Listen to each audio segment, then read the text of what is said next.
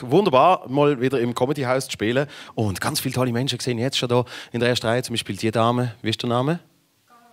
Carol. Carol? Sehr gut. Carol, man fragt die Dame nie nach dem Alter.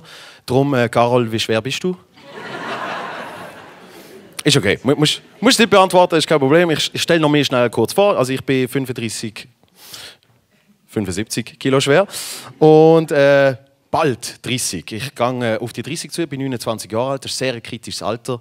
Wenn man so bei mir im Freundeskreis schaut, kriegen alle Babys, Babys, Babys, Babys, überall nur noch Babys. Und wenn man so auf die 30 zugeht und überall die herzigen kleinen Kinder sieht, muss man sich irgendwann mit der Frage konfrontieren, habe ich vielleicht auch schon eins? Seit ich mir die Frage gestellt habe, habe ich in einer konstanten Paranoia. Immer wenn ich äh, daheim bin und es läutet, habe ich Angst, dass die nette Dame vom Bangkok Massagesalon Golden Hands genug Geld zusammengekratzt hat für einen Flug in die Schweiz und vor der Tür steht mit so einem kleinen Knopf und sagt Happy Ending! Bis jetzt noch nicht. Bis jetzt. Danke, danke. Oh. Dankeschön, Dankeschön. Bis jetzt noch nicht. Also äh, momentan läuft alles noch gut und äh, ich, ich komme gerne noch aufs Götti-Mädchen zurück, aber ich, ich sehe mich gerne an eine Zeit zurück, wo das noch nicht so war. Nämlich so in den 90ern, als ich noch selber ein kleines Kind war. Das habe ich großartig gefunden. Ich bin ein richtiges 90er-Kind. Also, alle haben so farbige Kleider an, alle haben so lustige Frisuren. Gehabt. Der DJ Bobo der hat noch gerappt und noch nicht gesungen. habe ich sensationell gefunden. Oder? Music is what I'm living for. Hit the dance like ain't no more. Das ist so. Dankeschön. Ja, ja, Dankeschön, Dankeschön. Wunderbar mal, wunderbar. Das Problem ist aber mehr gesehen, dass als kleiner Bub habe ich das natürlich noch nicht so richtig verstanden, also was der so gerappt hat. Gut, beim DJ Bobo kein großer Verlust, aber es ist mehr so das Problem gewesen, dass man halt das, das Englisch noch nicht wirklich versteht und noch nicht richtig nachsprechen kann, sondern nur so phonetisch, so Kiki, Zippy, Flippy, Whippy, das, das, no, Whippy, das, no, das, no, das, no, das, no.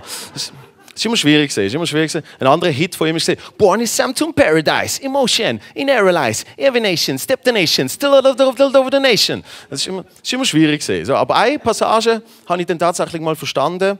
Die ist beim Song There is a Party gesehen und die hat geheißen The way that I live has a big, big price. Sometimes I'm nice, sometimes I'm ice.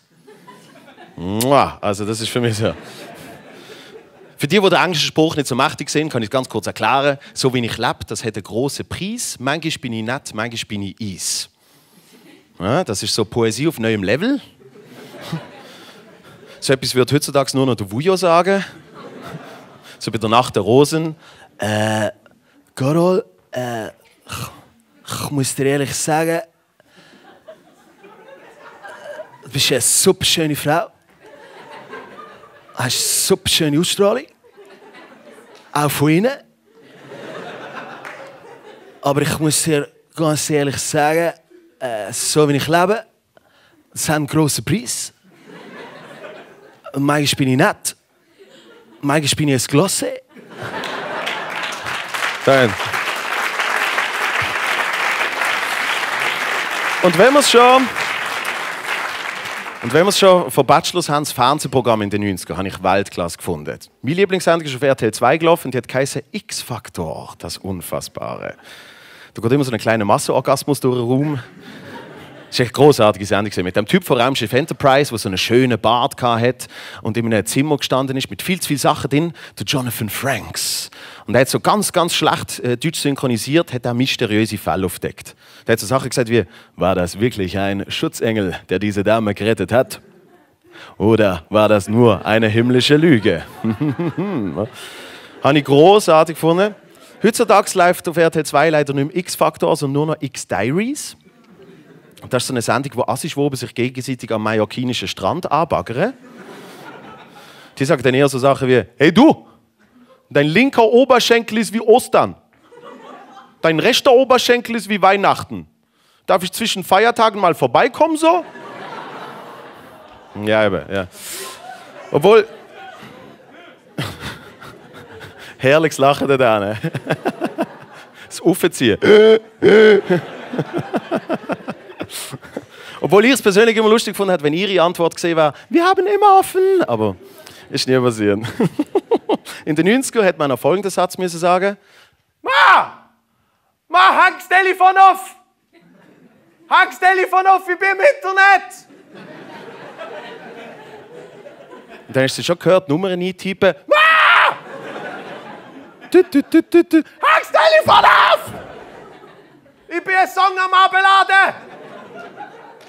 Hast schon 75 Prozent!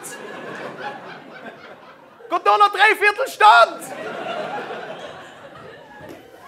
Das war das andere Dilemma. Songs hast du ewig lang gebraucht, bis du sie mal hast abladen Oder du hast sie noch kaufen. Hast sie können kaufen, zum Beispiel als Sampler, oder? Das ist großartig 40 Songs, genau einer ist geil.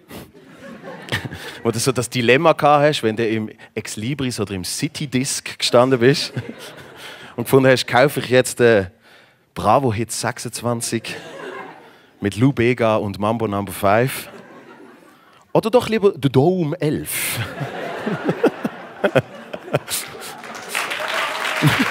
Danke.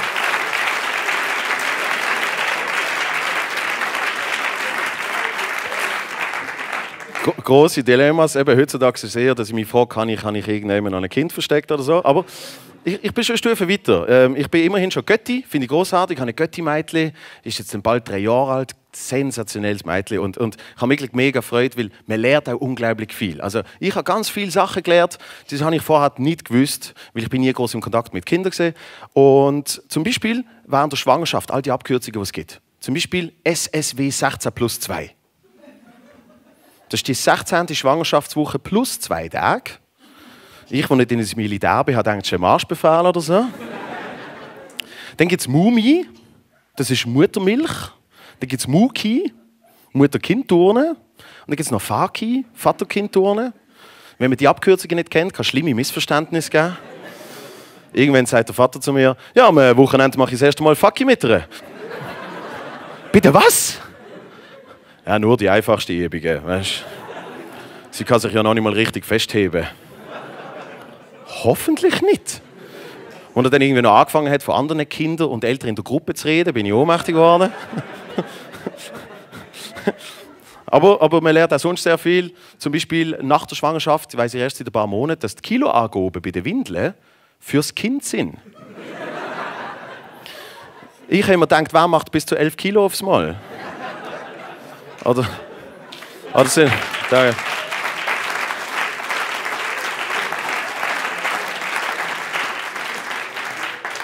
Oder sind die Eltern so verantwortungslos und die Windel nie wechseln? Schatz, wie wird's immer? Erst bei 8 Kilo, da gehen noch zwei, drei Mal. Nur los. Und ich habe gelernt, was ein Götti muss bei einer Taufe. Richtig, nichts. Ich hatte einen riesen Stress, völlig verkatert am Abend vor, hat einer von meinen besten Freunden seinen 30. Geburtstag gefeiert und ich am nächsten Morgen um 10 Uhr in der Kirche an die Taufe gehen. Kleiner Tipp, wenn ihr jemals in die Situation kommt, am einen oben ein Fest, am anderen Morgen irgendetwas in der Kirche, zum Beispiel eine Taufe, sagt eins von beidem ab.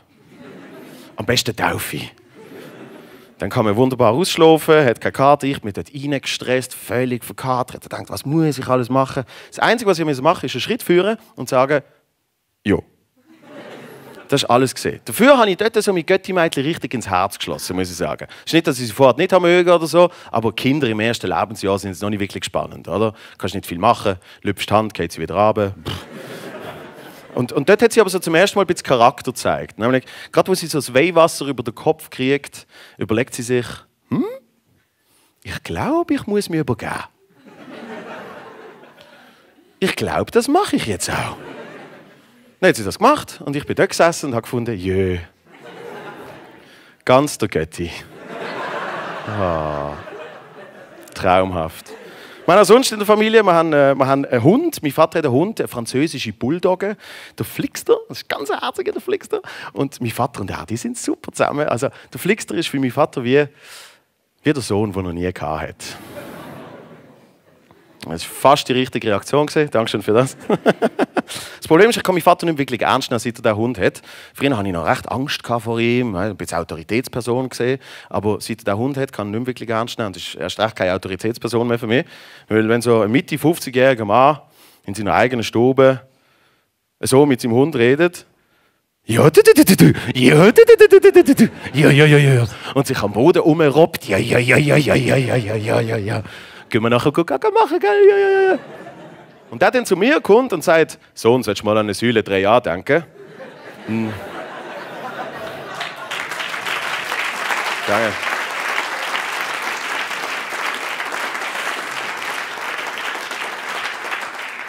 Nicht wirklich, nicht wirklich. Aber sehr lustiger Mensch, mein Vater, oft ungewollt lustig. Immer wenn er schwört, schwört er aufs Augenlicht von seinem Sohn.